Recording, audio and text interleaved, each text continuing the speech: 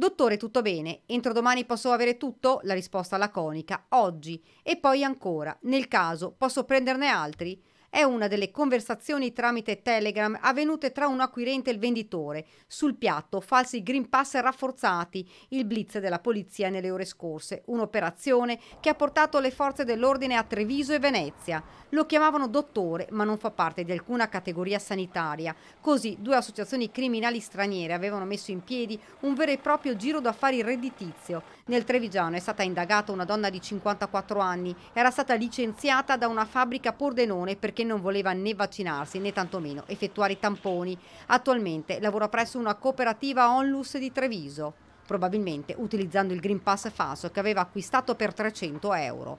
Alla donna hanno bussato alla porta i poliziotti. Dopo un'ispezione informatica le è stato sequestrato il cellulare dove aveva scaricato il Green Pass.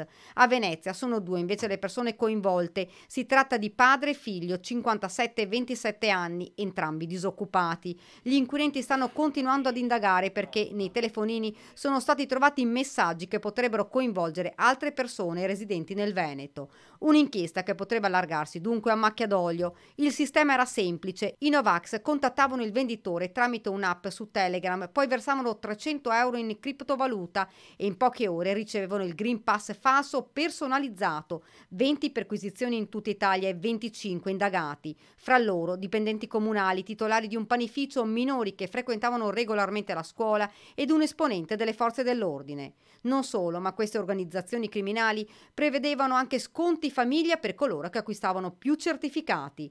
All'esame dei poliziotti anche alcuni conti correnti italiani utilizzati per far transitare i pagamenti per l'acquisto dei Green Pass.